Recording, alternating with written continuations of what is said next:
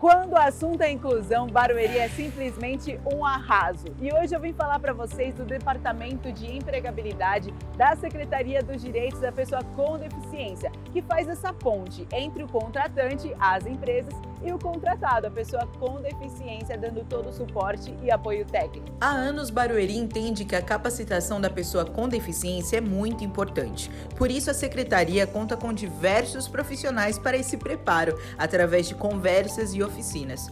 Por outro lado, a conscientização das empresas entenderem a importância, adaptações e não olhar para a pessoa com deficiência como uma cota, mas como um profissional capaz e preparado para colaborar com a empresa.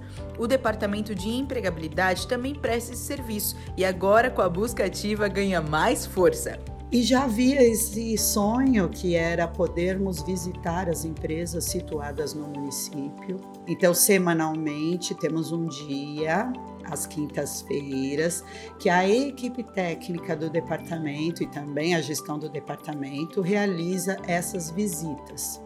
Então, nós vamos até as empresas, nos apresentamos, então entregamos também uma apresentação breve do trabalho do Departamento de Empregabilidade.